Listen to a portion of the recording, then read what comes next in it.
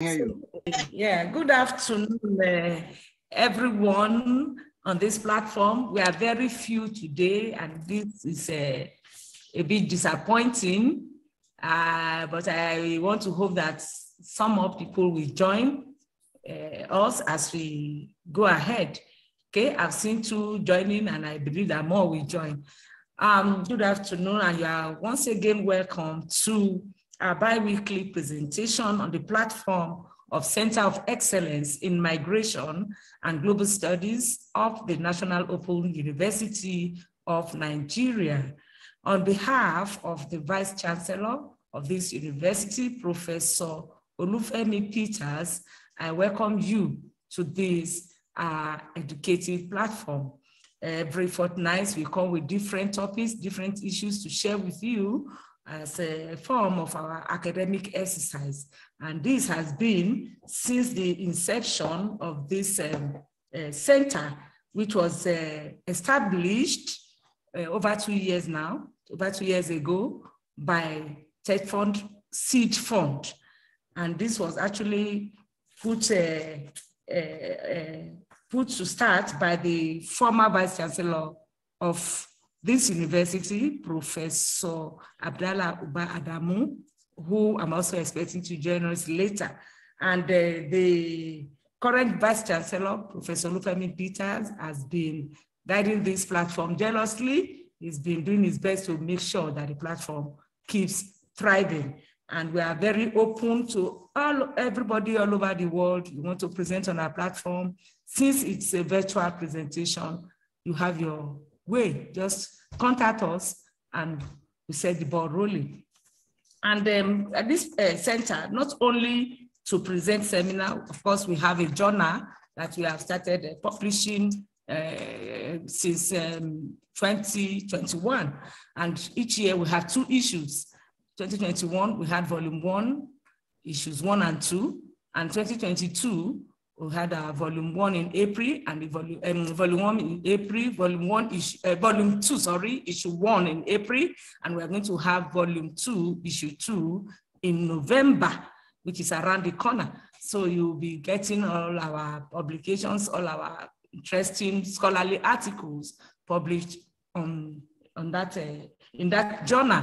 And we always try to uh, make sure that we put in there papers that are peer reviewed and very scholarly too.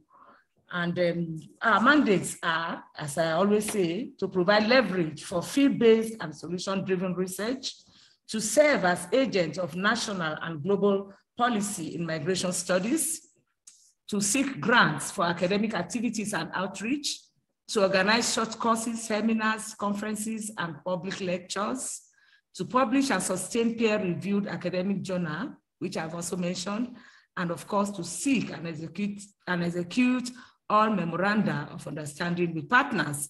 So we are very much on this uh, mandate uh, uh, given to us, trying to achieve them, and uh, we believe that as uh, months unfold and years unfold, we meet all our mandates as specified and as uh, listed, as I have read out to us. Today is yet another exciting presentation, like I said, and we have a, a young scholar here with us who is a vibrant uh, scholar by name Dr. Chris Agbonkhese, who holds a Bachelor of Science degree. Uh, of course, he made a second class upper in computer science from Adekunle Ajasin University, Akungba, uh, that's in Ondo State, if I'm not mistaken, and has a master's of science in computer and a PhD in information system, which is from Obafemi Awolowo University, Ile-Ife. So his PhD is from Ile-Ife and his first degree um, is from uh, uh, Adekunle Ajasin University, Akungba. He's currently a lecturer in the Department of Computer Science and Mathematics, Mountain Top University, Ibafo, Nigeria, and the Deputy Director, Open and Distance Learning Center, Mountain Top University. His research areas include artificial intelligence, health informatics, information security, and Internet of Things. And so uh, we are in the computer era, and our scholar today is a guru in computer. And today he's going to be talking to us about JAPA, the causes and effects of the migration of information technology professionals on the development of information technology ideas in Nigeria, the present and the future. And I think uh, being a new, uh, well, relatively new area of, uh, of uh, uh, science, this JAPA is the in thing now. So we are very happy to have uh, somebody here today to take us through and uh, enlighten us more on this. So over to you, Dr. Chris Agbonkhese. And you have been given, you are now able to share your screen. So you can go ahead, share your screen, and let us start now. Thank you. Good morning. Say good morning now. Good afternoon, everyone. I just want to, first of all, and quickly appreciate the leadership of uh, the Center for Excellence, National Open University, for this great opportunity to make a brief presentation on the topic we have on screen. When, it, when the opportunity was first presented, I was trying to, to crack my head, what exactly is this intersection between computing and uh, these migration as a topic.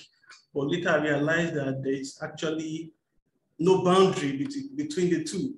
When you talk about com computing, there is a direct implication of migration in it. So quickly we'll look at the topic by the causes and effects of the migration of information technology professionals on the development of information technology ideas in Nigeria. Look at the present and the future. So I have prepared the PowerPoint in such a way that uh, even if you have network interference, you will still be able to see the things that we are talking about here. Most of the things I will be saying, I've written them here. So we will just follow sequentially. Firstly, we'll be looking at the concept of migration and we'll look at the subject, the slang, JAPA. Then we'll look at information technology professionals, then the Nigerian information technology sector. Now, then we'll look at the causes of migration of IT professionals, then we'll revisit migration again before we look at the implication in the Nigerian IT sector. Now, in a simple term, we can describe migration as the movement of a person or people from one country, region, or place of residence to another. Now, we're using this simple definition because I know that we have several uh, professors of migration in this platform now, several people that are very, very knowledgeable in this area. I would just want to cut away the technicality and the, some other professional terminologies that are inherent here. So I'll just use the part that relates to what I want to present today. First and foremost, migration is a normal human activity. And from the, from the beginning, humans have always moved from one country, locality, or place of residence to another. What then is Japa? Japa is a Nigerian argot or slang, a slang word derived from the Yoruba language that simply means that simply means to flee a dangerous situation as quickly as possible. So Japa is derived from the Yoruba word, which is made up of ja and ba. So it means to run and to make something appear larger, better, worse, or more important than it really is or needed to be. So the thing, taking, the thing has taken its root in the desire of young Nigerians to leave the country permanently. So underline the word permanently. Now, before we proceed, we want to look at the subject information technology professionals. When I say information technology professionals, who are the category of people that I'm referring to? Who are information technology professionals? So information technology professionals in this context, they are the professionals that study, design, develop, implement, support, and manage computer-based information system, which includes the software applications and the computer hardware. We have varieties of uh, information technology professionals. We have the software developer, of course, we must have been hearing about programmer, coder, um, whatever name that has to do with software application. These are the people that are concerned with the, the development of software application and the maintenance of such system as well as the deployment. Then we have another category that are within the, the computer network domain. They are known as the computer network architects. These are the people that design the, the, the, the, the system to be deployed for computer network to connect group of computers together. And they are also serving the responsibility of managing network related issues. We also have the computer support specialists. These are the professionals that will help us solve computer related problems such as your desktop, your laptop, and other handheld devices. Okay, then we have the IT project managers. As the name implies, they are the ones that would manage information technology projects from the beginning to the end. They are most, they are less concerned about the technicality, but the managerial perspective of the project. Now we also have the web developer. These are the software developer whose specialty lies within the, the ambit of web browser. So they develop software applications that can only run on web browser, not standalone applications. So we also have the information security analyst. Today we talk about cyber security. So information security expert, they are concerned with security of information, which cuts across the network in which the information is being communicated. And we also have the computer system analysts. These are analysts that work with the software developer or programmer to examine existing system or the existing computerized system or manual system to understand the user's needs and take requirements or elicit requirements for the development of a desired software product. Then lastly, we have the database administrator and architect. These are professionals that are just concerned with the back end of software application. They are, their, their, their responsibility is to manage the database, the database and the data stored in the database. So having looked at the information technology professionals, we want to take a look at the Nigerian IT sector. While we are talking about how it is now, we'll still make some references to the to a few years back. So the information and communication technology sector, now when we use the word information and communication technology here, and previously we have used information technology, we, I mean the two of them are used interchangeably in the context of this presentation. So information and communication technology sector, also known as the tech sector, is one of the Nigeria's largest growing sectors. Despite the COVID-19 pandemic, the sector contributed 15% of the country's GDP in 2020, only second to agriculture, which was occupying the number one position. This continued a five-year trend with the sector expanding at an 18% annual rate between 2016 and 2019. With the 90 tech hub and the large and expanding customer base, Nigeria is now the largest tech market on the Africa continent. More than 200 million people, or 72% of the population, now have access to mobile phone and internet penetration is expected to increase from 2% since the introduction of mobile devices in 2001 to 65.3% by the year 2025. The biggest tech companies in the world, such as IBM, Microsoft, Cisco, Google, all of them have presence in Nigeria. Even Twitter, which was once blocked in the, in the nation, understand how crucial the market is, that they have to negotiate to see how they come back to business in the Nigerian market. Japan on their own predicted that the industry will boost the economy by $88 billion by the year 2027. Regrettably, the growing number of young people in Nigeria did not find job as a result of this growth that has been experienced in the IT sector. There were only 497,000 people employed in the sector in 2017, or 1% of the total workforce. This was brought on by the youth population lack of digital literacy, which left them feeling unprepared for the workforce at that time. Despite the fact that this is a cornerstone of the nation's new national digital economic policy and strategy for 2020, 2020 to 2030, the Nigeria ranked 122 out of the 140 nations in the Global Competitiveness Report for the Development of Digital Skill. Although the Nigeria economy requires more advanced digital skill, the infrastructure for tech training was not sufficiently designed to deliver them. Most people who intended to gain training, to, to gain knowledge and undergo training, resorted to going to roadside shops to learn their IT skills. Despite the vast need for more qualified tech professionals within Nigeria, many instead seek to find opportunities abroad, hence the context of the JAPA. I want to look at the major causes for the migration of information technology professionals. I've understood the concept of JAPA migration and the categories of uh, information technology professionals that we have.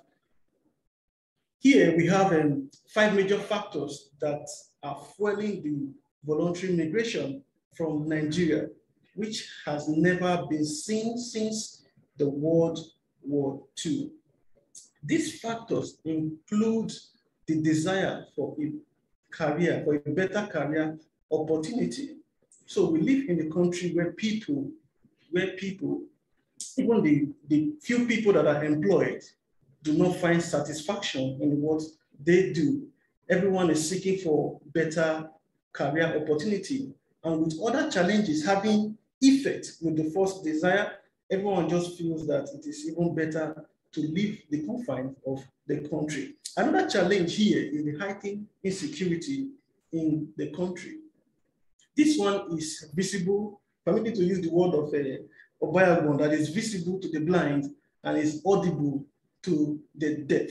For every day we wake up, we go out and we come back is what's giving testimony in this country at this present era. The heightened um, insecurity in the country is a major problem which has on daily basis be on be, be, being considered worse. Let me use the word is worse, it's getting worse as the day go by. The government is incapacitated and the security forces are out of ideas. Nobody knows what else to do Right from the north, we have the bandits, we have the Boko Haram, we have the headsmen, and we have the there, but maybe to use the word. And right in the middle bed, we have the Niger Delta militant, we have the kidnappers there. In the southeast, we have the secessionists that are looking for their own country. And in the southwest, we have the ritualists. I, I, do not mean that all of these uh, all of these problems are, are restricted to a particular region or they're just predominantly uh, exhibited in those areas. So all of this prostrate in the existence of the IT professionals in Nigeria. Another factor is the need to provide a better future for one's children. Then, fourthly, the requirements for future education and lastly, the poor governance in the country. All of these things we not um, overemphasize, we'll still take a look at them later on. Now, it is um, paradoxical to it is paradoxical that the ship of the slave masters were filled with unwilling and forced migrants, brutally repressed and tortured to keep them on board. Yet some would rather drown than move away from their mother's land and the place they considered as home. A friend once told me that in, if the US and UK built a ship on the shore of Nigeria today and asked young people if they want to have to leave or migrate to either of the two countries, the number of people who will eventually get on board will sink the ship. Maybe I should say would sink the ships because if they bring more than one ship, the two also will sink. Will sink. Sorry. The struggle, fights, and shoveling that will be seen would make WrestleMania look like a child play. As sad as this assumption is, statistics backs its fundamental reality. Now, we want to take a look at immigration holistically. A recent research survey revealed that about 45% of Nigeria's adults, adult population plan to relocate to another country within five years. 45% Nigerian adult population relocating to other countries within the next, within another five years. Of the 12 countries surveyed from Africa, the Middle East, Europe, and North America, Nigeria ranks highest among the people who deliberately want to relocate to some other countries. In another study, it was revealed that even seven in every 10 Nigerians plan to relocate if the opportunity presents itself. The recent wave of Nigerians relocating out of the country represents the largest, the largest movement of people out of the country since the end of the Civil War over 50 years ago.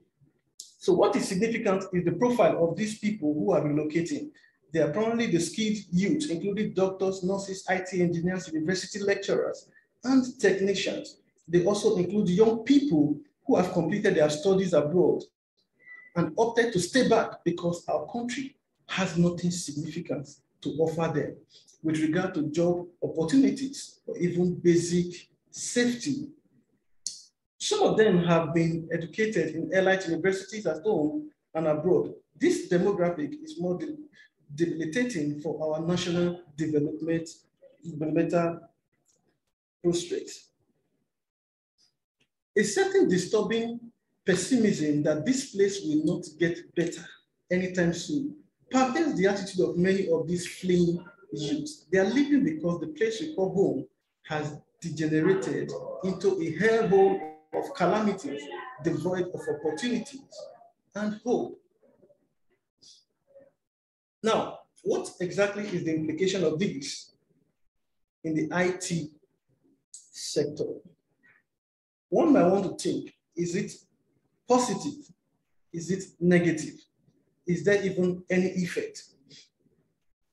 It is not as though migration often leads to brain drain Indeed, it can have a positive impact on both the migrants and the communities of origin and the destination.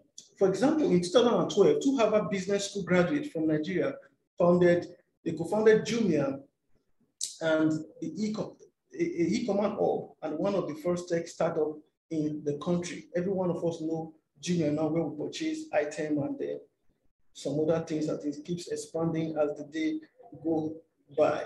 Several diaspora returnees have founded companies employing thousands of people. For instance, the tech company founded by diaspora returnees includes the Iroko TV that we all know, the Flutterwave, and the Babo. Yet the role of these migrants as driver for human capital and job creation is really, is really discussed in, in Nigeria. In Europe, Europe is one region that is well poised to benefit from Nigeria tech talent. From 2005, for example, to 2015, employment for tech professionals in the Euro grew by one third and a further 10% growth is expected by the year 2025. The implication is that more people, or much more people, will still go the number of people available within the euro to take up these roles continues to decline. The same thing with Nigeria. The training and education sector has not been able to keep up with the needs of employer. Again, the sector has seemed impervious to the effect of the pandemic and skill shortage continue to grow. Today, the tech industry is a shortage occupation in 24 member states in Europe.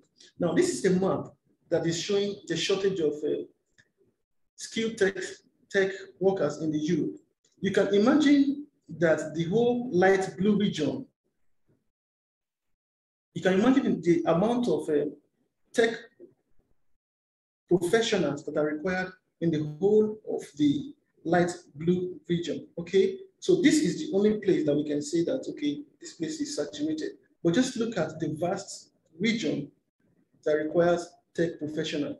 If the whole of tech workers in Nigeria, even maybe might not even be able to occupy the entire fill up the whole space there.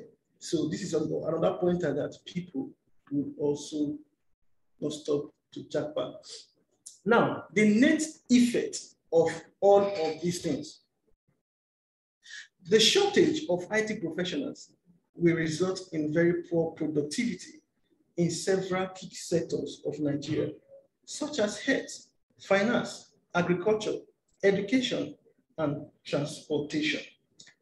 With the advent of computing, the introduction of computing and mobile devices in Nigeria in 2001, several businesses have moved from the manual-based to computerized system. Health institutions have moved from paper-based to computerized institution and computerized system. Financial institutions such as bank, they have moved from using teller for withdrawal and um, deposit to computerized solution. Agriculture too. Recently, we discovered that so many ways we can apply computing techniques or computational approach using artificial intelligence to enhance agricultural product.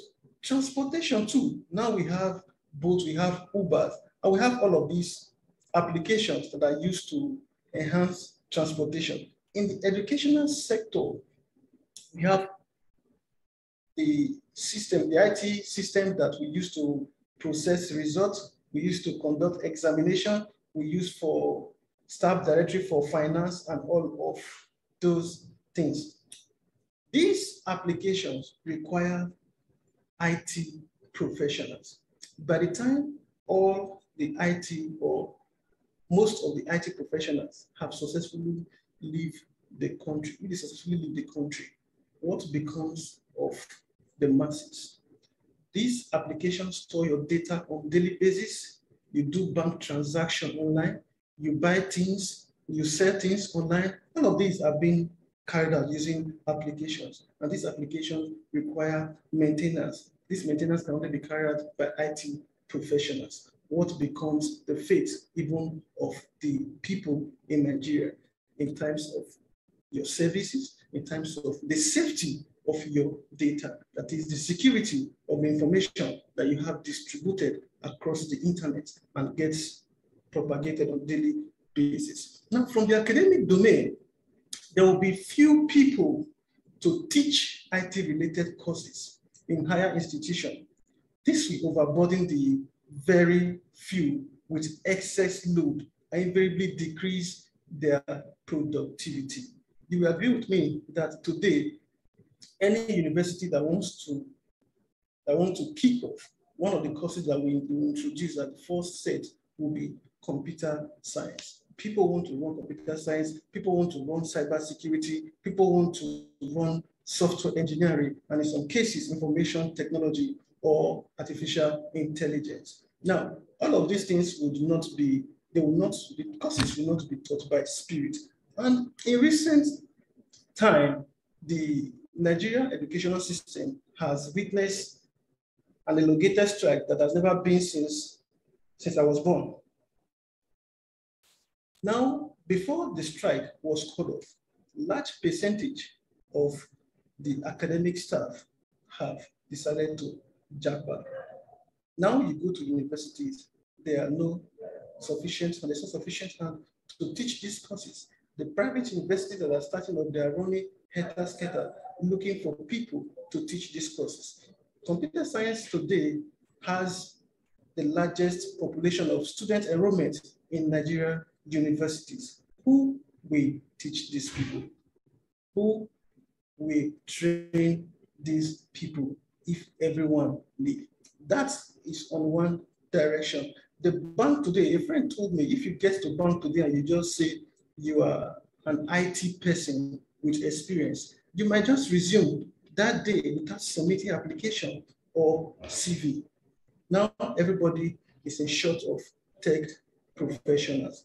It will get to a time where maybe the organizations will revert to the use of paper and biro because if these security challenges and other problems continues in Nigeria, it might just be a breeding ground for IT professionals for the European countries to enjoy. One thing that would surprise and surprising is that most of the people that are tra traveling, or the most of you that are jack buying today, they obtain their training from public institutions in Nigeria, funded by the Nigeria government.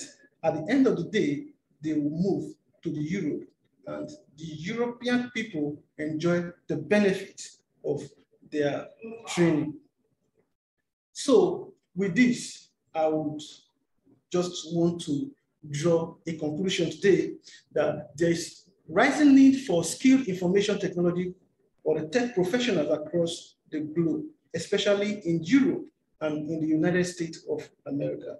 The current wave of Japa of even the few tech professionals, both in academia and industry, will invariably and adversely affect the Nigeria, Nigeria, uh, sorry, affect Nigeria in many ways, and indeed the growth of the Nigeria tech industry. So thank you for listening. Okay, thank you. Thank you very much for that uh, wonderful presentation.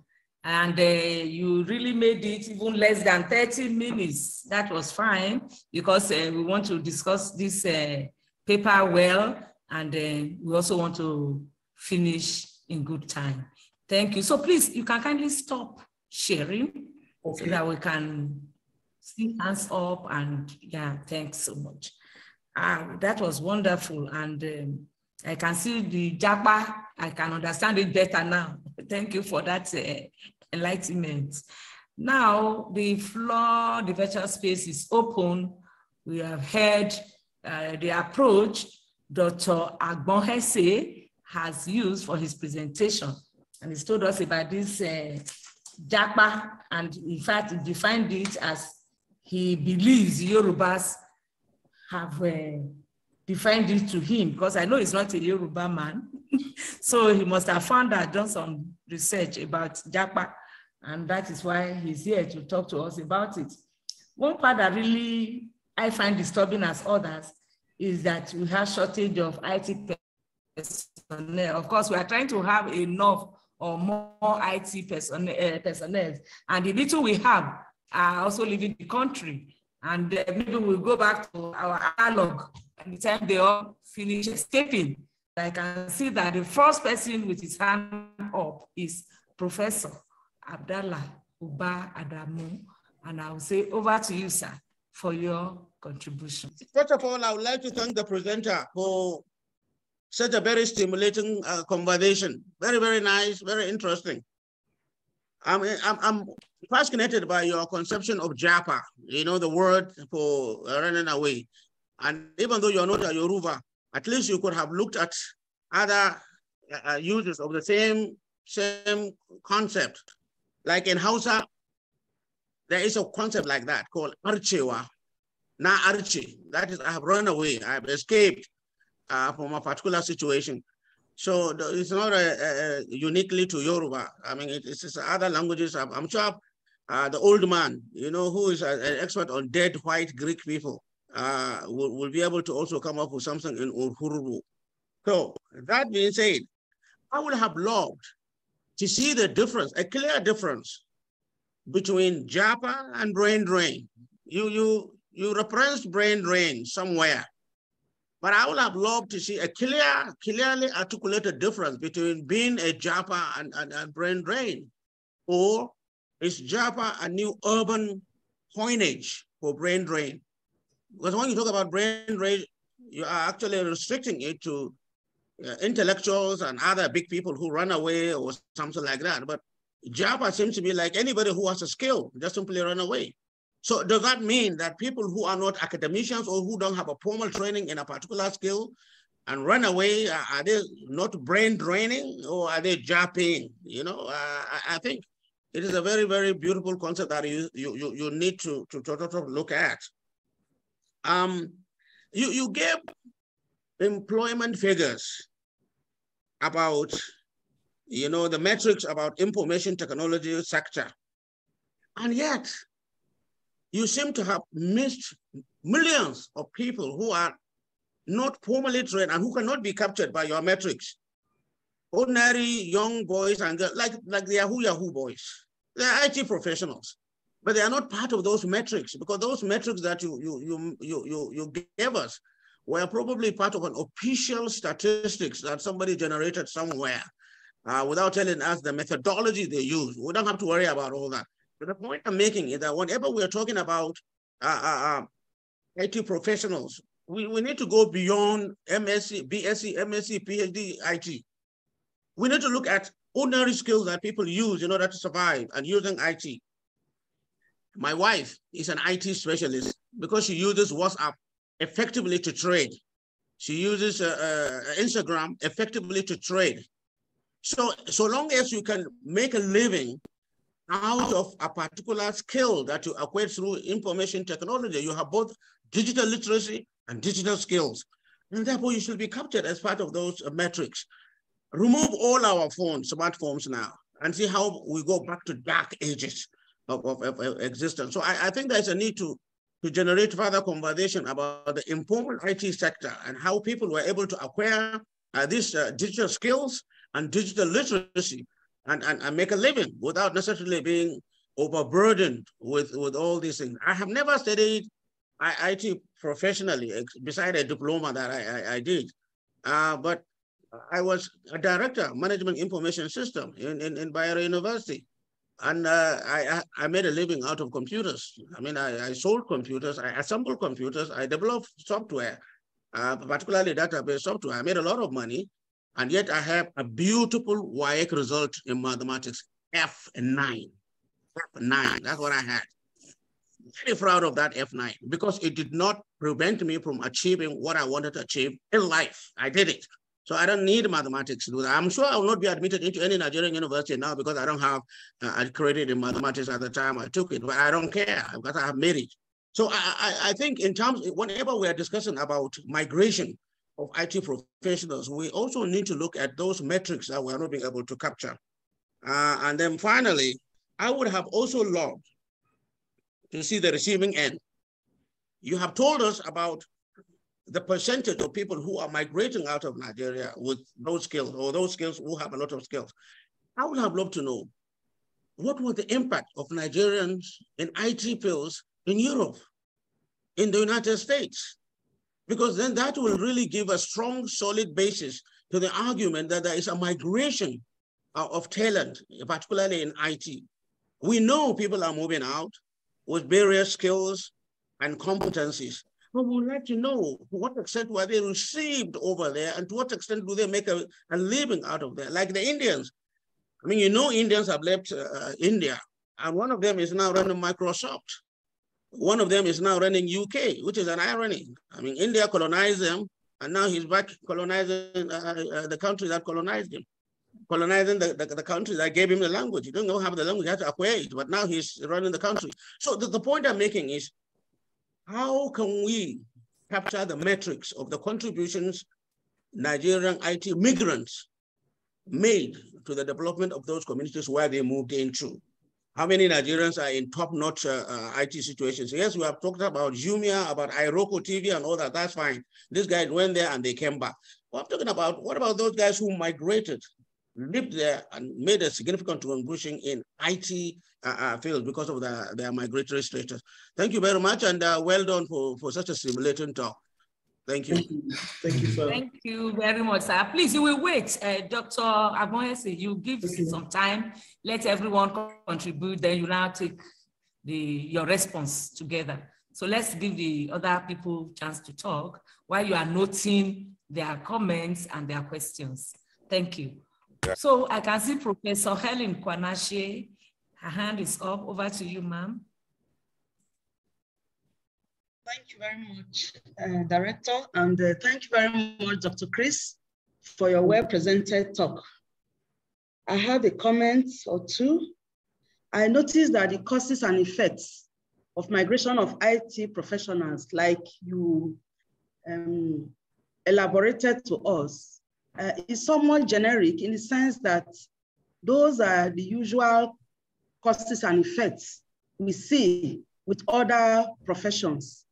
Um, I do not say that in criticism. I feel that indeed it is beneficial if every profession uh, determines and add to the body of knowledge we have so that at a point we can say, oh, this, this affects everybody and make it the truth. So that is not uh, a criticism on yes. the way that uh, you have presented. It just shows that what applies to medical doctors and uh, other professionals is also applying to IT professionals. So my first question is to ask if there is any more specific causes or more specific effects that tend to apply mainly or only to IT professionals. That's the first thing. The second one is actually a comment. When I saw JAPA and I saw that it is IT, I thought it's, it's another language like Java, you know? And so maybe I want to suggest when you're submitting the manuscript, you should put that word in quotes or in italics, just so that we know it's not um, an English word and it's not a professionally accepted word. But I like it. I like the fact that um, our Nigerian words and pidgin English are finding their way into uh, English dictionaries and so on and so forth. And then uh, the third point I want to make is to respectfully disagree with uh, Professor Abdallah regarding uh, his submission that the Yahoo Yahoo boys should have been included in your professionals. Yes, uh, we know that we define professional as people who engage in a major activity for their source of livelihood. And whereas Yahoo Yahoo boys do make a living from that, um, this is actually, uh, they're actually criminals.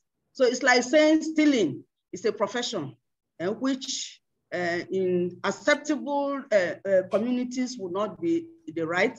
I, I, believe that there's a word for it. I can't think of it outrightly, but I can describe them as criminals. So I respectfully submit that Yahoo Yahoo boys are not professionals and that your list was okay to exclude them. Thank you. Thank you very much, ma'am, for your submission. And uh, I can also see Emeritus Professor Sogolo with his hand up. Over to you, sir. Yeah, um, thank you, Director. I don't know whether I'm really uh, qualified to comment on this uh, paper because if you you're looking for uh, digital illiterates, I, I, will be one of those very much available. I have no idea about uh, computer until very late but I'm glad about this uh, lecture. Well, before I commend uh, the presenter, I want to, you know, take this opportunity to say that Professor uh, Abdallah Badamu, who laughed at me the other time when I said I failed accountancy, uh, you know, I didn't know that he too failed mathematics. So hopefully, So in one, one respect, I'm better than he is mathematically. He said he doesn't need mathematics. Well, we all need mathematics. If you pitch a couple of uh, Professor Adamu will tell you we add everything up very accurately. So you cannot say uh, he doesn't need mathematics. He does. So that's that's uh, but I want to congratulate uh, uh, Dr. Chris Agboka. The presentation is so clear so lucid, and, and this is the kind of presentation I'd really like to listen to. But, you know, I, I, I was just having the feeling that what he says about ICT experts who are migrating on their various uh, antics and so forth really applies to you know doctors, engineers, uh, space uh, uh, researchers, and aeronautic engineers, and so forth. those experts are, or many of them are really very much needed in the developed countries. So they find ways in which uh, they, they uh, migrate from uh, this country because they, they, they, what they do here does not really pay them very much. I cannot comment more than that, other than to congratulate the presenter uh, for a brilliant uh, uh, paper. Thank you very much. Thank you, sir. Thank you very much, sir. I think the person I saw his hand up again is uh, Dr. Emina William Uli. If you will still want to make your comments or contribution, over to you. Yeah, thank you. Thank you very much. Uh, Dr. Chris, well done for your presentation, even though I joined very late. Uh, when I looked at uh, the concepts used, uh, the, this JAPA movement of the teen or the JAPA syndrome that is all over the country, I, I, I get worried. Um, we may not see the implication now, but I'm sure in the nearest future we'll begin to see how bad it has become, you know, because uh, if the state doesn't take up responsibility now to save the future, you know, I'm happy your presentation also tries to address the future. There is so much gap that is coming. Uh, but I'm worried in the sense that, uh, remember before now, technology, you know, it's one aspect of development that, you know, we are craving for.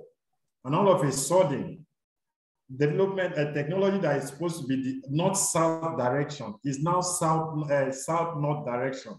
So I'm worried about that. I don't know how you try to strike a balance between seeing technology going back to the motherland. You know, I, in my own view, you know, I see technology now going back. You know, we've always saying we learn this thing theoretically. We want to learn something. And we've, we've gotten the theory, even in the application. Now we are exporting that knowledge. I mean, isn't that, is there a balance? How do we strike this balance? Because we don't have the, the hardware to say this is our own homegrown technology. How do you, how do you, how do you strike a balance in that direction? You know, so I'm worried about that because it's not our own homegrown. Now we're exporting the knowledge, but how, how do we domesticate this kind of knowledge now?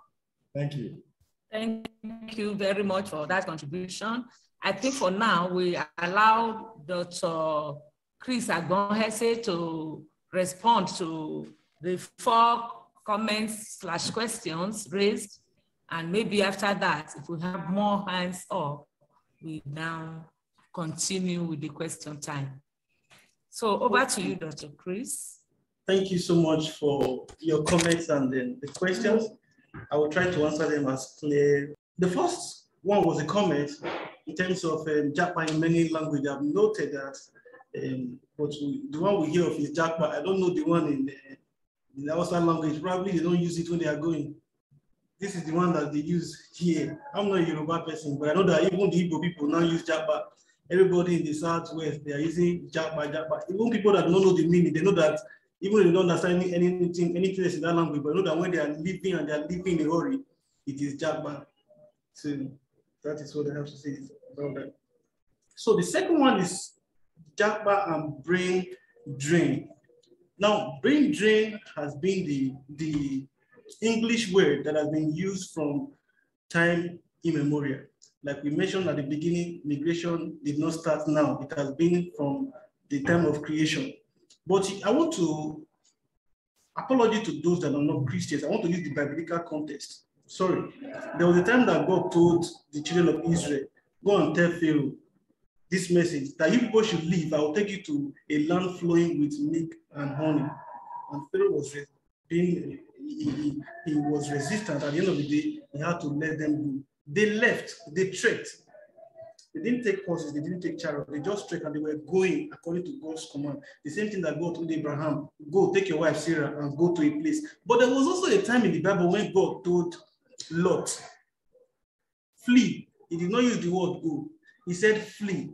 So the, that two contexts differentiate Japa from brain drain. Brain drain could just be that okay, these people have been migrating, but the, the, the way they go and the number of people that are living also is the difference between the Japa and brain drain. The Japa is, I'll use the word switcher, is much faster. In this context of Japa, they don't even, some people don't even tell their neighbor, they don't tell their father, they don't tell their mother. So it contains both speed and secrecy. Brain drain, you still take time to arrange yourself, inform your organization, resign. But in the case of Banner, people are not resigning. They get to their destination and send SMS that they are no longer coming to work because they have left the country. So that is why I'm capturing this present wave of migration as Japa instead of brain drain. Because like you also mentioned, some people that do not even have, they do not have any particular skill. They don't have any particular technical skill. They are not educated, but they have looked at the environment and realized that they do not have future here they also fled. So they have run away. So that one can be described as Japa because there's no there's no knowledge that we are saying that they're moving from here to that side. They will acquire their knowledge there and use it there. So there's no brain drain in that context. That is what I think exists in that uh, part. So this next one is the the causes of the migration of IT professionals and the other professionals. Of course, other professionals they are they have been migrating. It is of recent that we hear about IT professionals migrating. Before, there was nothing like that. You just hear maybe once, one in 100, one in 50, but people that have always been migrating from, from time memorial were the professional health workers, the nurses and the doctors. But right now, with the advent of competing technology everywhere across the world, especially with the effect of the pandemic, when people cannot work from home, the doctors cannot even work, the nurses cannot work without IT professionals. The pandemic has created much more opportunities for IT professionals in outside the country than it used to be. So they were they probably were just thinking of managing the situation of the country because it is not even easy to migrate to another country. You think about your family, you think about the comfort you enjoy, think about the uncertainty in where you are going to. So but all of these things that you, some of these problems that you said cause across other areas also contributes, also constitutes the same reason for IT professionals. So we can also say that the same thing that push other people away is pushing IT professionals. But the, the, the, it is faster for IT professionals because right now they are calling them to come even with just little or next to nothing skill. So that is the third one. Then the fourth one thank, thank you. The, the, the, second, the second, third person that asked question, I made comment corrected that about the Yahoo boys being professionals. That is not actually, I don't want to stress that again, they are not professionals. They talked about people that did not acquire knowledge from institutions and they just carry their phone and press and they are professional because they know how to operate their phone. Sir, those are not professionals.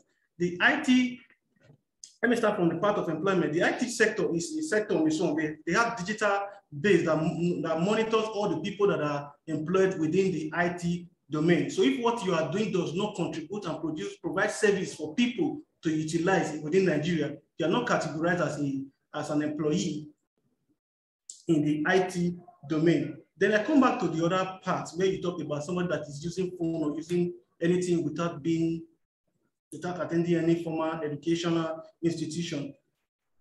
Sir, if you are using your phone and you can use it very well to do many things, it does not make you an IT professional. You are only an end user that is knowledgeable in using IT technologies. IT professionals do not work on the surface, they work at the back end, providing this environment for you to be able to use your phone effectively. I don't know if you get my point now. So that is what they do there. The last person talked about uh, moving from the beginning. I didn't really get it clearly. Moving from okay, if I if I if I'm right, acquiring the, the knowledge here. Taking no before you. I think Prof also the first person asked if there is any impact of the people that are migrating from here to Europe, if they have contributed significantly to the economy there, and then what position they are holding there. Well, I do not have um, data about that, but I know that most of the people that I've contacted, that of course my colleagues that have left here, they are not even after holding any top position for you to hear what they are doing. They don't even care. They don't even want you to know what they are doing. All they just want to do is to be comfortable in life, earn their thousands, hundreds of thousands of dollars, and live a comfortable life, providing the future that is that is that is hopeful for their children. That is what they care about. But as time progresses, they will also get to the the point where you begin to hear of them here. But it won't be as easy as if they were right here at home. So that is for that. Then the last one that um, uh, Mina Williams asked, Mina Williams, there, there, there is a little or next to nothing that you can do as an IT professional because you might just be surprised that me that I'm giving this seminar today, tomorrow, you call my number, it's not going again. and I'm off the radar too. so the people that are living, they are not living willingly. They are living because it has gotten to a point where they can no longer take it. It is not that they just want to live, they, they want to contribute to the country, but what if they die tomorrow? What if the country kills them? So people tell you that Nigeria has attempted to kill them times without number, but therefore they will not stay again. Some have gone abroad to study and they came here just to start business and that was the end of their lives. So that is why we use the concept of Japa. It's like flee from imminent danger. People believe that it cannot get better, it can only get worse. And if we have that mentality, mm. there's nothing you can do to stop people, they will go, no matter how hard you try. Increase their money, increase their money to hundreds of millions, they will still leave. Because only person that is alive that will be concerned about growth and development. So thank you. Okay, thank you very much. Is uh, Professor Abdallah's hand still up or is it former one? I'm very happy that we are having a discussion about all this. And uh, Professor Kwanashie and Chris both disagreed with my perception, which is okay. That's, that's why we're here, to agree to disagree. So let me ask you this. How do you classify your mechanic? This is a person who fixes your car. All right? Your car is, is, is spoiled. You don't take your car to the Department of Mechanical Engineering to be fixed because those people have BSc, MSc, PhD in engineering, mechanics, or whatever. You take it to a mechanic who has not even finished primary school, who could not articulate his uh, thoughts effectively except through pidgin English. And this guy fixes it very well. Very. Is he a professional or a what? So we need to renegotiate the conception of what a professional is. That's an expert who knows what he's doing, not an expert who has been given a certificate and certified as being a professional. We, we have this. You ask any professor of, uh, of, of, of, of, of mechanical engineering, does he fix his car? They don't. They, they go to a mechanic. They, they go somewhere and ask somebody to, to fix their, their, their cars for them. This is just an example. So the, the point I'm making is expertise, professionalism, I think that drive the economy. And if we begin to start a nitpicking about what constitutes an expert and what does not constitute an expert, we'll be excluding a whole bunch of people from contributing to the economy. If we say we will not accept anybody with digital skills and digital literacy as a professional in a particular field, then that's okay. We remain in darkness. We are waiting for those with MSc, BSc, PhD in Fortran, in COBOL, in C++ to come and tell us how to operate a particular mechanism or how to do something. We have thousands of people now creating applications on YouTube, on, on, on Google Play and all that, thousands of them. These kids don't even have a high school. So by the time you begin to restrict them to non-professional status and category, you are excluding a very valuable contribution to the economy. When Yahoo Yahoo boys are criminals, I agree. And who says that people with BSc, MSc, PhD do not become criminals? I mean, look at them, all the people that EFCC people have been arrested. These guys are professional in various disciplines and they are criminals. They are being lo lo located up. So the, the point I'm making is, let's look at knowledge economy. Let's, let's dispense with all these things. When I was living in California at the University of California, Berkeley, Microsoft came to recruit people. And the first thing they said in the advertisement, don't come with a necktie. I mean, don't come with a corporate structure.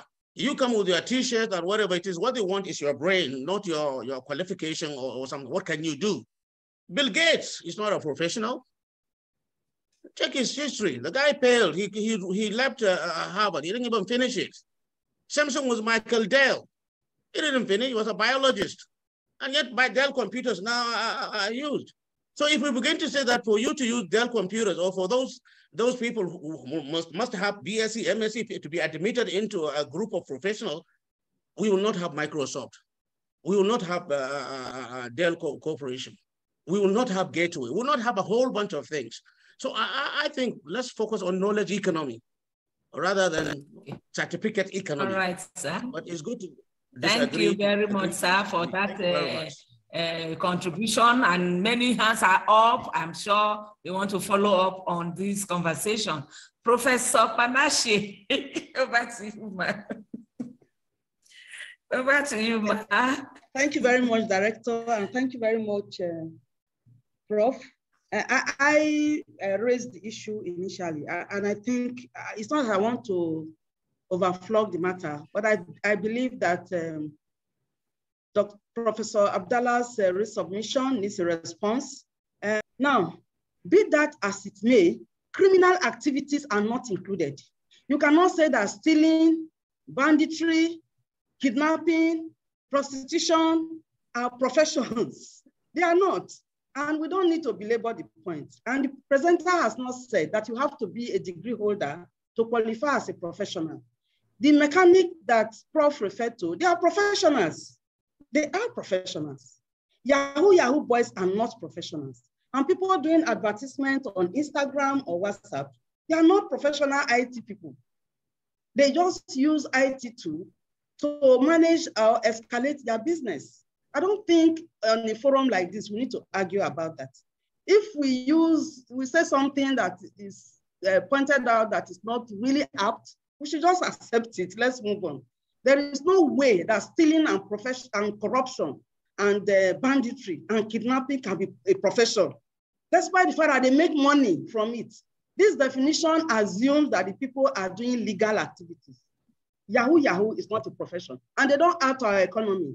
They give us such a bad name that they diminish our economy, diminish our people, diminish our brains in and out of this country. That's my humble submission. Thank you. Thank you very much, Ma. I can see the, okay, Mr. Olusoji Ajao has his hand right. up. Over to you. Thank you, very, thank you very much, Ma. Uh, I, thank you for having fun presentation from the start. And my very self, I've been involved in digital skill training for the past seven years. And that's why I, I, I connect with Dr. Uh, Abdallah, who mentioned that uh, he had a fail in mathematics. Myself, when I enter UI, I enter UI with pass in mathematics. And I want to submit and I want to connect with uh, what Professor said. I agree with him totally. A professional doesn't need to get a degree. Facebook we are using today drop out from Harvard. The same thing for Bill Gates. The same thing for Steve Jobs that created iPhone. And again, somebody, the last speaker mentioned that if you're on, uh, Instagram, uh, you are using it for your business, you are not professional. I beg to disagree with you. I have certification in Facebook digital marketing, social marketing. Those kids you are watching on television and this guy, they go behind the scene. He's a professional. And as a matter of fact, let me tell you, man, Facebook now have certified Facebook marketer. And as I speak to you now, in the US, and professor that spoke, he spoke, he, he lived in US. What they do in US is that if you are a Facebook certified marketer, if you are entering university, they have a credit conversion. They put in your, your credit. So credit load will be reduced because you are Facebook certified. So somebody working on TikTok or Instagram, they are professionals as well. We call them professional marketers, influencers. That's their profession. And that's why Facebook have to create a certificate for that. Even we have what we call uh, Google's, Google, Google certified marketer. And let me give you back again. When Donald Trump won American election, he worked with professional Facebook marketers. That's what he did. So again, we could not just, and, I want to submit again, my first degree in UI was adult education. And in adult education, we define qualification in different ramifications. So you can become a professional without powering to formal education. So you can be certified. You don't need to become uh, a, a, university degree, uh, formal educational system. You can be certified.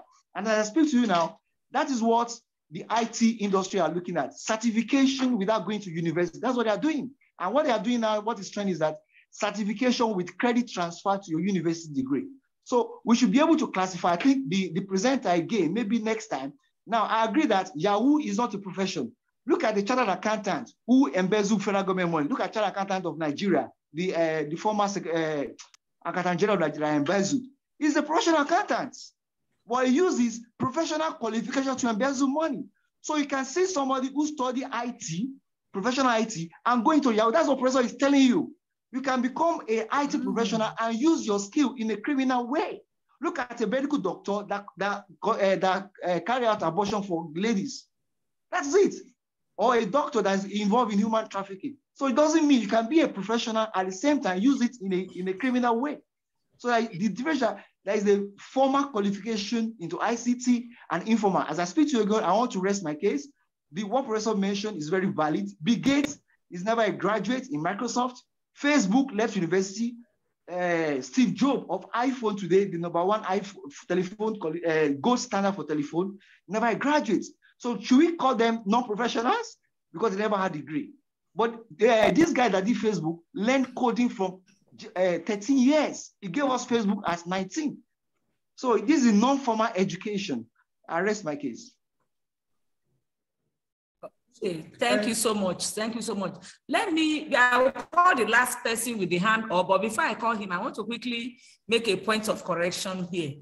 I did not hear degree makes you an IT professional. I didn't hear that in that presentation. Neither will I also say you need a degree to be called a professional because I am a nurse and when I read nursing, I did not have a BSc in nursing, and yet I was a professional nurse. So maybe when the presenter is going to respond, he will tell us what he said exactly so that we don't keep twisting what he did not say. Thank you so much. Director. Dr. Emina, over to you.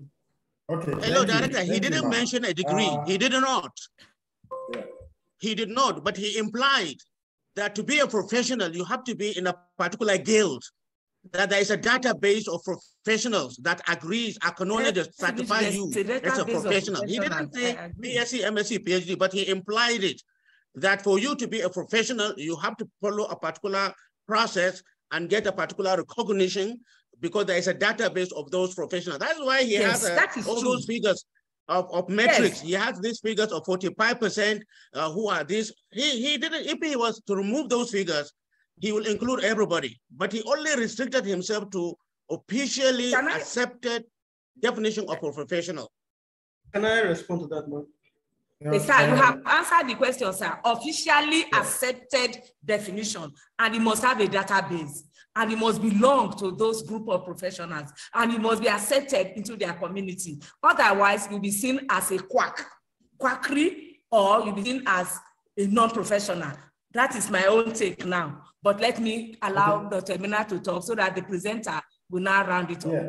Thank you, sir. I, I, Dr. Emina, I think, yeah, Dr. Chris needed to have actually conceptualized uh, is, is uh, the context of professionalism that he meant, you know, in this context. If he had done that, maybe we won't be going into all of these uh, arguments. So in the, in the paper, maybe you should narrow it down to what you, in your own context, what you mean, because you have a right to say, this is what I mean by the professionals or those that I'm referring to in this context, particularly in this presentation or in the paper.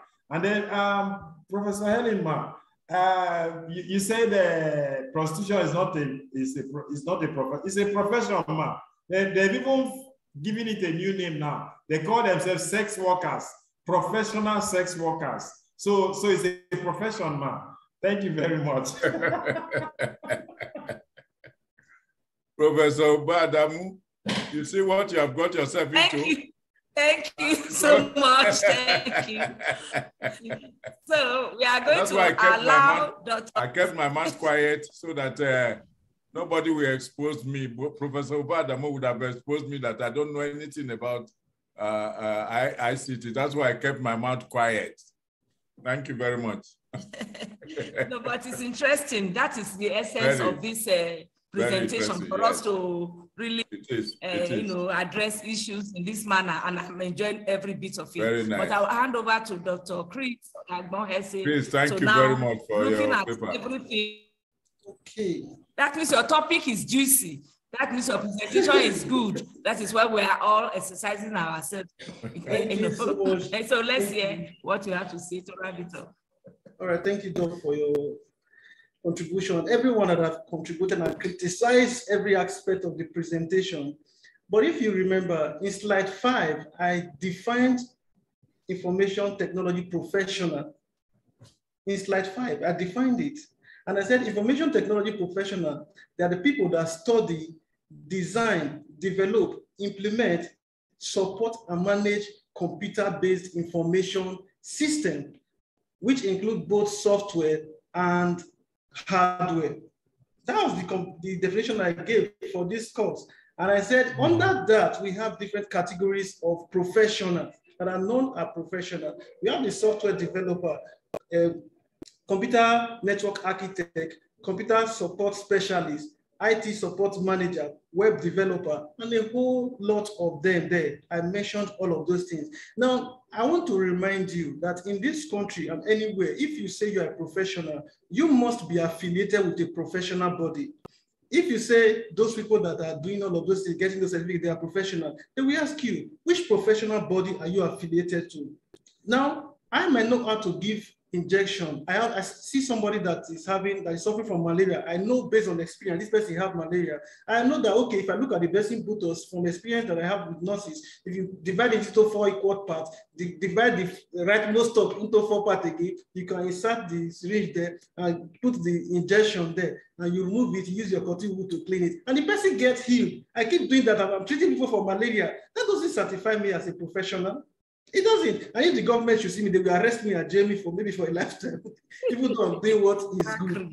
So we have people that are, and you know, IT is also a virgin field. It's just growing and it is evolving as time progresses. A lot of areas are coming up. A lot of areas are coming up. There are some certificates that you will see tomorrow, certification that are not available today. And as the business need is expanding, you begin to see new things. But the professionals that I've defined in the context of this presentation, there are these eight categories of people that I've listed here. These are the people that are in the core IT domain, not the end users. You say because you know how to use phone to use one, or you are using one application to transmit, you are using it for marketing. You might just be a certified so and so person that is doing business using the platform of information technology. But the professionals that I've categorized here, they go they go beyond that level. These are the people that are involved in the in the core IT task. You get it now? So there are still some people that will go and learn coding. I did not even say that this people must go through university.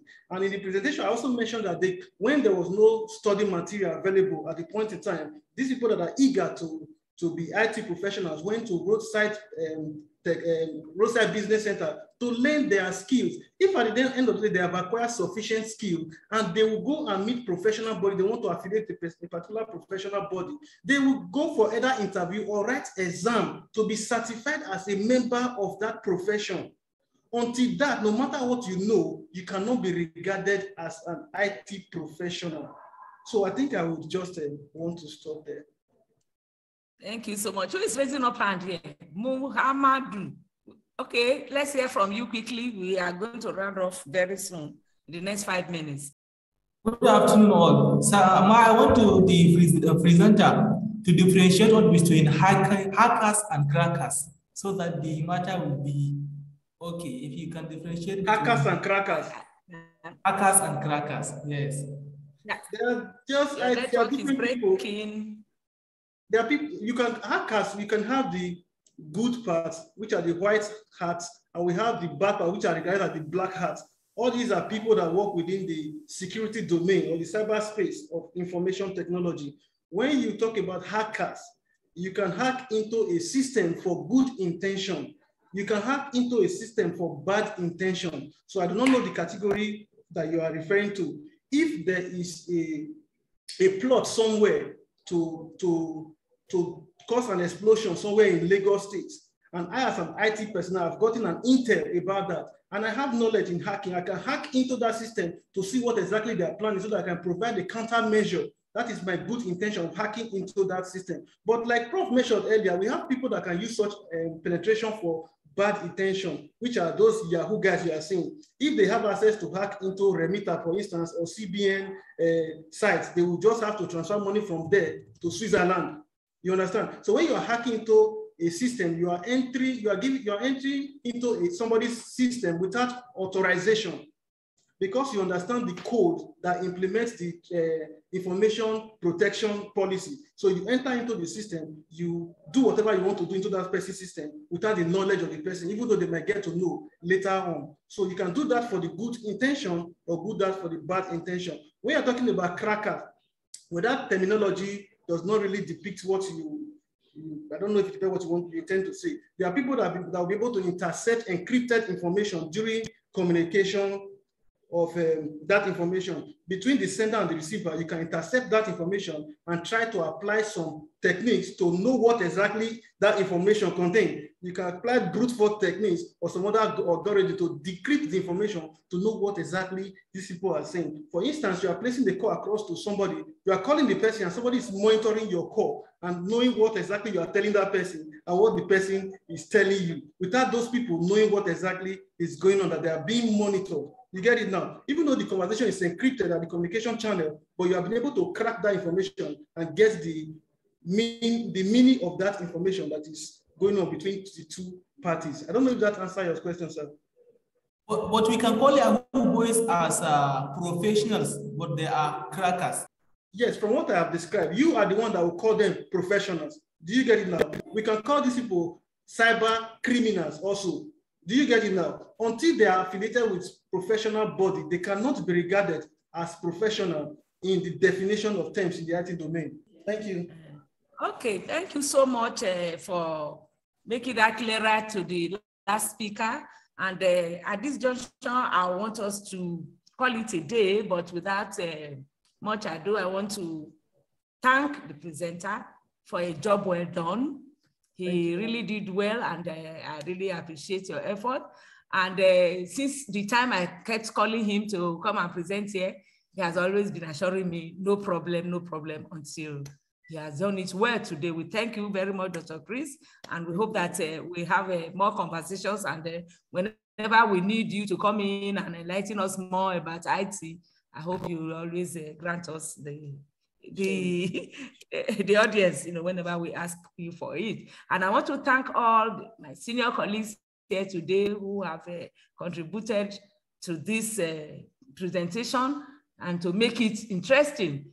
At least I really thank Professor Abdallah for raising some issues that stimulated everybody to talk. And that's it. We want to talk here, we want to add and delete. I thank Professor Helen Kwanashie. I thank Professor Emeritus Sogolo, even when he said he didn't talk, but at least he said something that made us all laugh. I thank Dr. Mina, I thank Mr. Jao, and even those who didn't talk, but are on this platform, we appreciate your presence. And uh, we say in two weeks' time, we have another presentation that will be very stimulating, and we are expecting to find this number of people times three on this platform. So you will help us to tell it to others that there's a platform where we exchange ideas and uh, we get educated. Thank you very much. And I want to call it a day